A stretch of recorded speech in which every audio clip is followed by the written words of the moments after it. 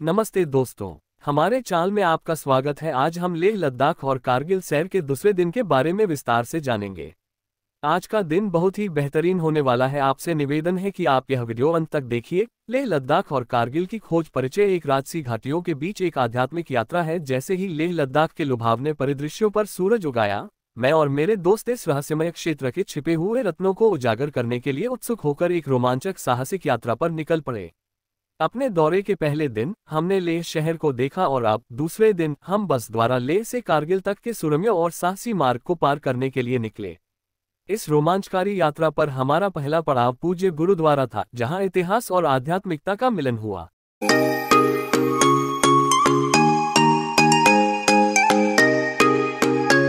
समर्थ नाना tour Saswad यांच्या वतीने लेह या ठिकाणी आपलं सहर्ष स्वागत. आज आपल्या कारगिल टूरचा पहिला पॉइंट आहे. ज्याचं नाव आहे गुरुद्वारा पत्थर साहिब. ज्यावेळेस गुरु नानक शीख धर्माचे संस्थापक गुरु नानक हे आपल्या धर्माचा प्रचार आणि प्रसार करण्यासाठी या प्रांतात आलते त्यावेळेस ते याच ठिकाणी थांबलेले. वरती दिसतंय का तिकडं? तर तिथे एक सैतान होता. त्या काळचा रांगेत वगैरे तर त्यांनी तिकडनं एक असा मोठा दगड आहे. तो गुरु नानकांना इथं फेकून मारला. पण तो दगड त्यांना काही लागला नाही. त्यांच्या मागे येऊन थांबला. ते ज्या पोझिशनमध्ये बसलेले ना पोझिशन आता आपल्याला आतमध्ये पाहायला भेटते.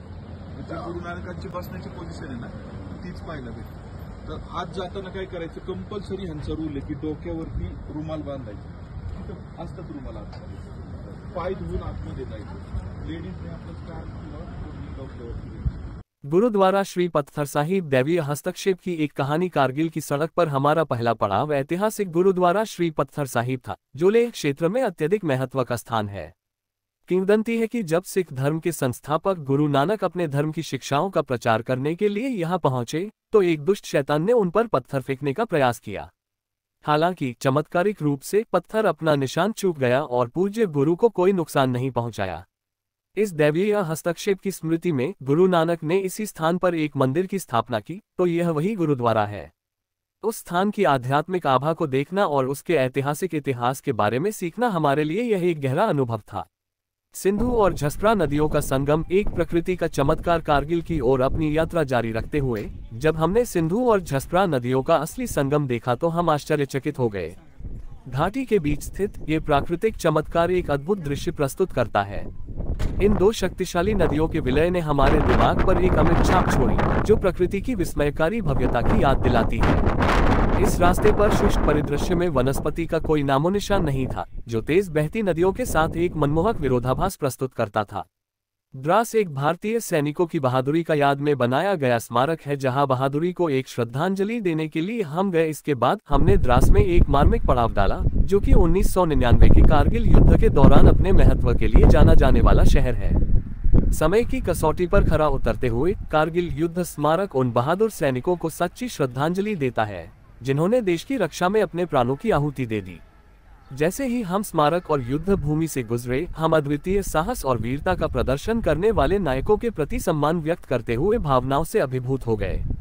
कारगिल युद्ध, जिसे कारगिल संघर्ष के रूप में भी जाना जाता है, भारत और पाकिस्तान के बीच मई से जुलाई 1999 तक जम्मू और कश्मीर के कारगिल ज़िले के साथ साथ नियंत्रण रेखा एलओसी के साथ अन्य क्षेत्रों में हुआ था। भारत में इसे ऑपरेशन विजय कहा जाता है, जो भारतीय सैन्य ऑपरेशन का कोडनेम है।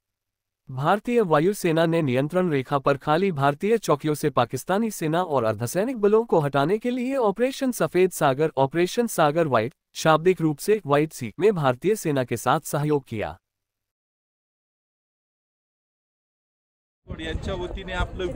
त्रास या सहर्ष स्वागत. जे नाव कारगिल वॉर मेमोरियल. युद्ध स्मारक भारत सरकारने या ठिकाणी बांधलेलं आपण समोर ते टायगर हिल आहे. टायगर हिल समोर हिलच्याच त्या पलीकडं तोलोलिंग नावाचं एक शिखर आहे. हे वरती दिसते का? तीन असे तीन असे फोड्यांसारखे. त्याला थ्री पिंपल्स म्हणतात. जे पाकिस्तानी सगळे जवान होते.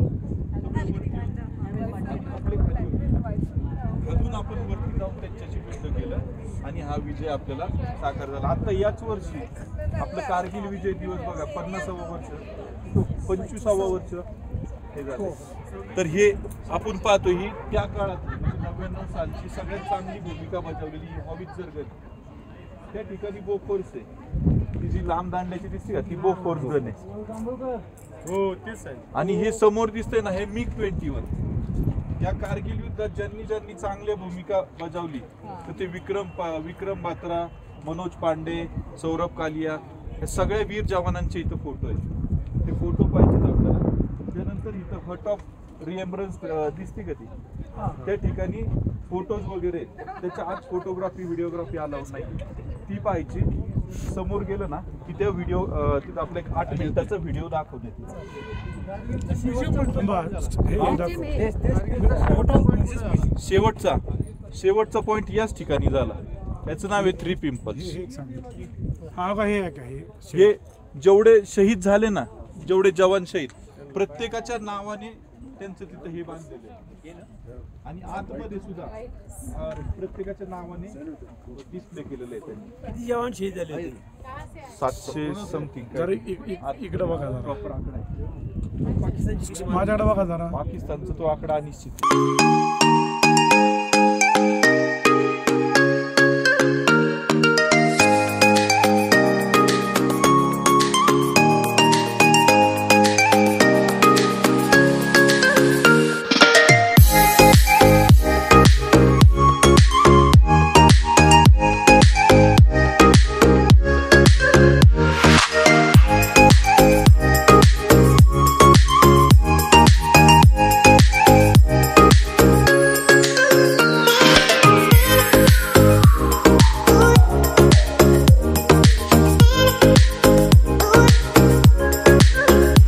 भारतातील प्रसिद्ध पर्यटन ठिकाणी जाण्यासाठी श्री समर्थ नाना टूर्स व ट्रॅव्हल्स सासवडला संपर्क करा मोबाईल नंबर नऊ सात तीन शून्य चार चार पाच चार शून्य नऊ.